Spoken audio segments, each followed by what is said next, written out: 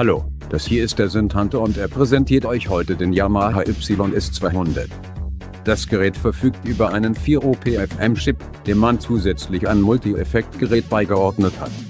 Mit 100 festen sowie 100 User-Presets ist der Klangspeicher ziemlich gut dimensioniert. Weitere Sounds können per Speichercard aufgerufen werden. Mit an Bord ist ein 8-Spur-Sequenzer, der immerhin eine Kapazität von 10.000 Noten hat. Es erzeugt in der Regel sehr gute Techno- und Dance-Bässe, sowie digitale Synth-Sounds aus den 80ern. Es verwendet dieselbe Synthese wie das Yamaha TX81Z. Das heißt, es stehen acht Wellenformen zur Auswahl und nicht nur Sinuswellen, wodurch ein breites Spektrum von möglichen Sounds entsteht.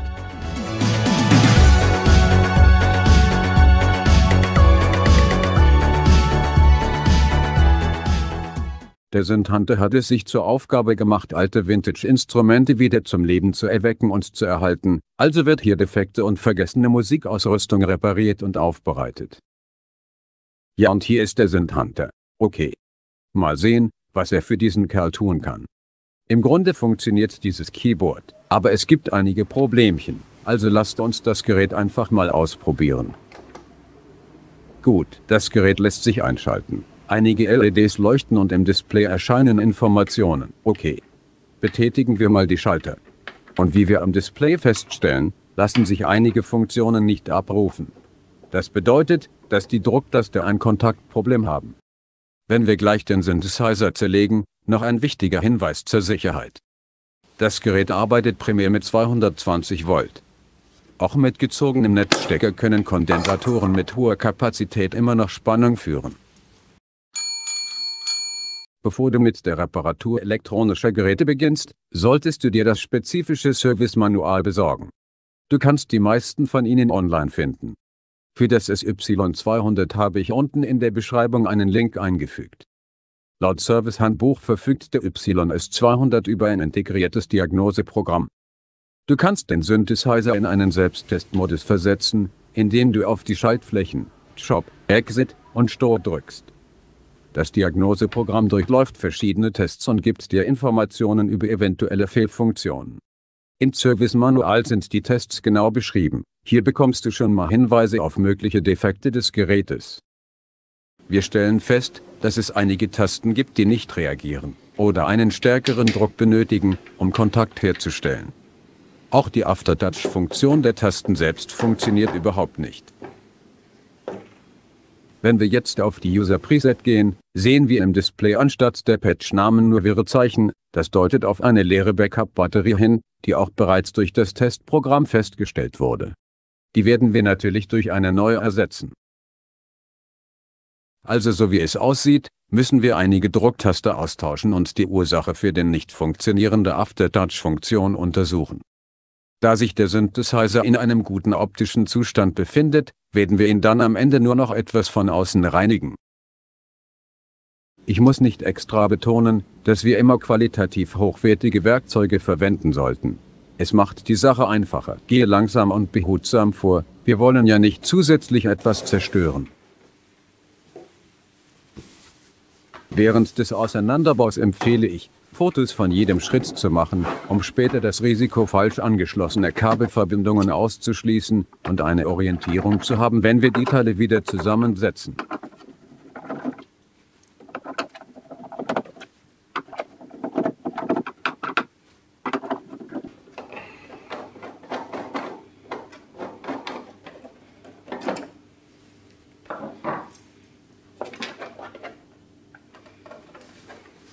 Um an die Hauptplatine zu kommen müssen wir zuerst das Abschirmblech entfernen, aber Vorsicht, hier befinden sich die integrierten Schaltkreise.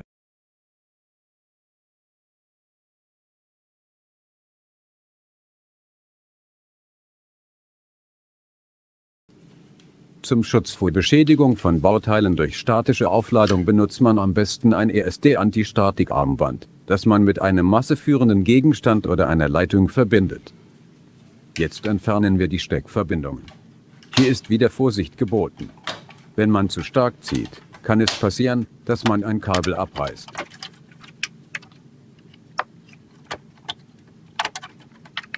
Jetzt haben wir das Mainboard ausgebaut und können mit dem Austausch der Speicherbatterie beginnen.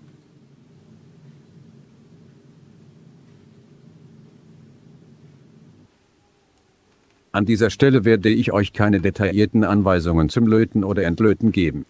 Es sind viele Videos online, die die verschiedenen Möglichkeiten aufzeigen. Normalerweise nehme ich die Entlötpistole für diese Arbeit. In diesem Video benutze ich eine Entlötpumpe. Besser geht es mit der Pistole, aber mit etwas Geschick und Übung sollte das auch so funktionieren.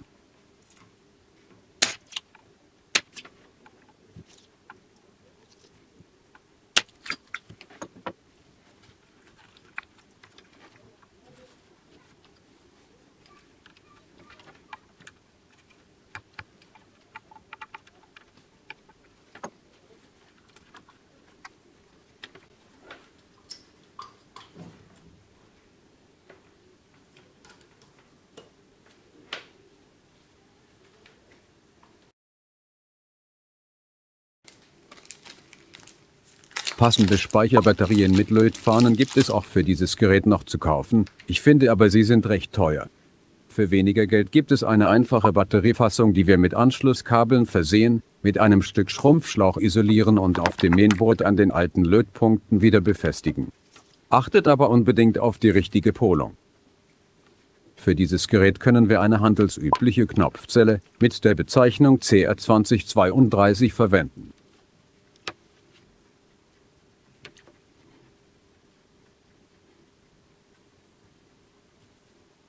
Für die Isolierung nimmt man am besten einen Schrumpfschlauch mit einem Durchmesser von nicht mehr als 2 cm.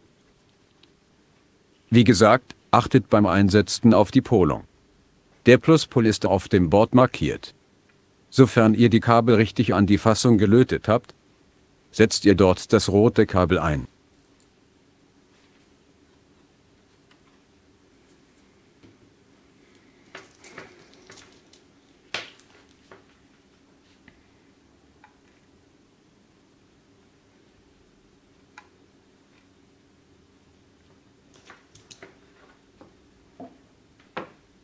Geschafft.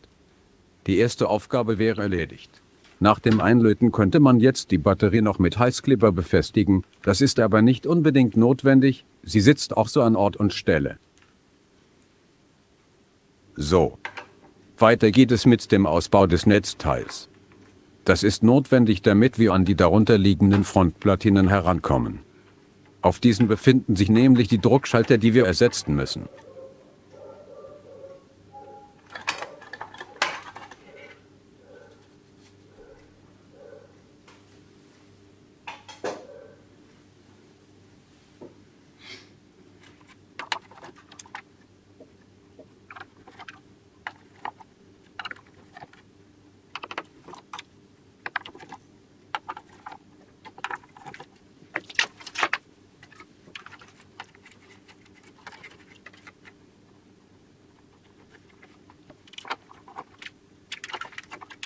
So, jetzt haben wir die Frontplatine herausgenommen. Vorher haben wir natürlich festgestellt, welche Schalter wir ersetzen müssen. Ersatzschalter findest du bei eBay. In der Beschreibung unten gibt es einen Link, über den du einen ganzen Satz erhalten kannst. Sie sind günstig und für die Zukunft hast du dann auf jeden Fall einen Vorrat an verschiedenen Größen. Wir nehmen jetzt alle defekten Drucktaster heraus. Sie sind jeweils mit vier Kontakten befestigt. Mit der Entlötpumpe saugen wir auf der Rückseite der Platine das Lötzinn ab, anschließend können wir den Taster dann mit einem kleinen Flachschraubenzieher rausheben.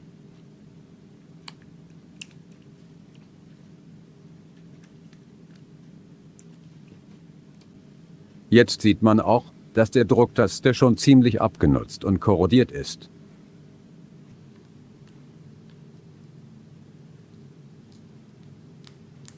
Nun nehmen wir die neuen Taster und setzen diese wieder sorgfältig in die Platine. Auf der Rückseite kurz verlötet und fertig.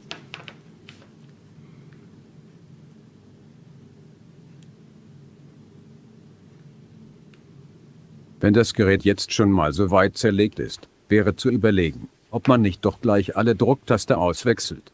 Weitere Ausfälle von Komponenten sind bei dem Alter sicherlich nicht unwahrscheinlich.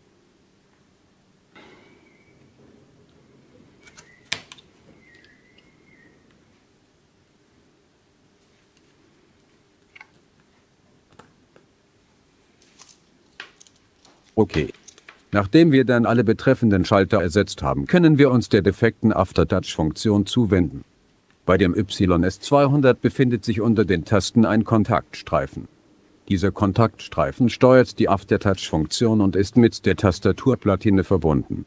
Diese Steckverbindung werden wir jetzt erstmal prüfen. Wir hebeln das Oberteil des Steckverbinders etwas nach oben. Dann können wir das Kabel herausziehen. Diese Flachbandkabel sind sehr anfällig, besonders wenn sie schon ein paar Jährchen auf dem Buckel haben. Also Vorsicht! Ich nehme an, das hier ist ein Kontaktproblem, eine Reinigung und ein richtiges Wiedereinsetzen sollte das Problem beheben. Zum Reinigen von elektrischen Kontakten eignet sich Alkohol. Ich empfehle Isopropanol mit mindestens 90% Alkoholanteil.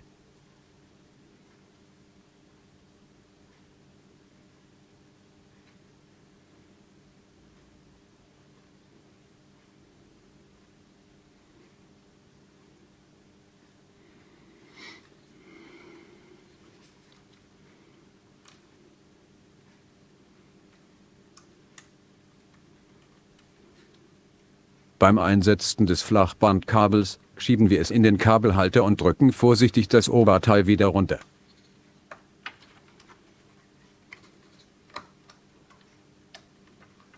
So. Erledigt. Jetzt können wir der Reihe nach alles wieder zusammensetzen. Aber bitte darauf achten, dass alles passend ineinander geht. Wenn was nicht richtig sitzt, lieber nochmal nachschauen. Vergewissere dich, dass alle Kabelverbindungen wieder an ihrem Platz sind.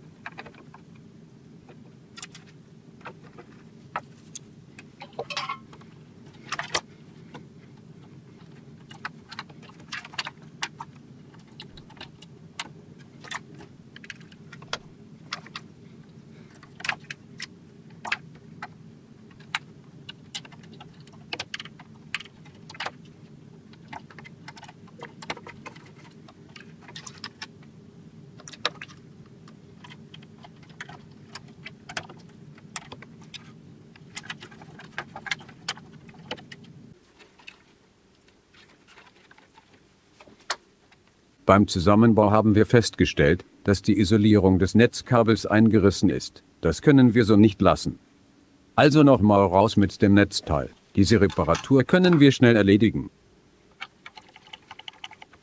Wir entfernen das Netzkabel, indem wir es einfach kappen und schneiden das schadhafte Stück ab. Das Anschlusskabel ist dabei immer noch lang genug. Wir verlegen es wieder genauso wie es vorher war und befestigen die beiden Drahtenden wieder an den Kontakten.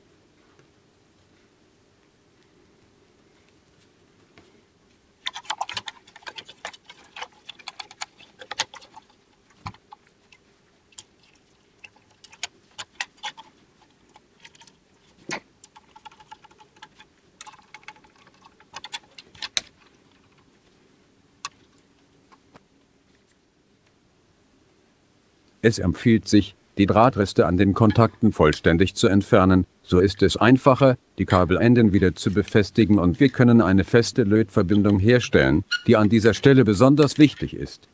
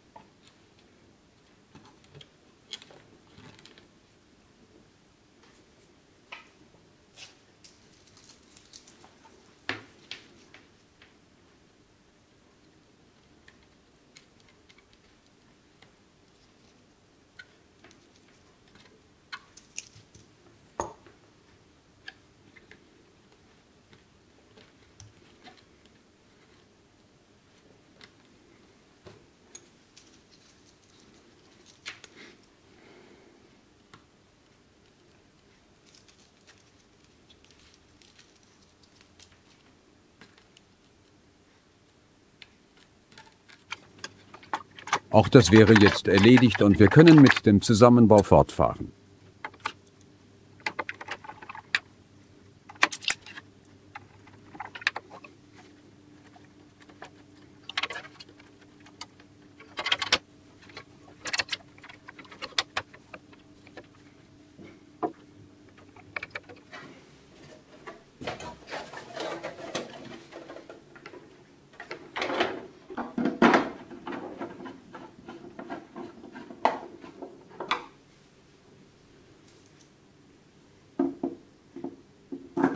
Nachdem wir alles wieder zusammengesetzt haben, starten wir noch einmal das Testprogramm. Wir sehen, dass die Backup-Batterie die entsprechende Spannung liefert und die Tasten produzieren jetzt auch wieder die Aftertouch-Funktion.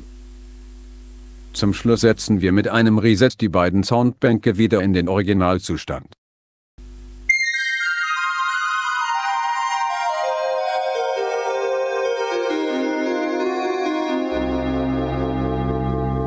So. Wir fassen zusammen.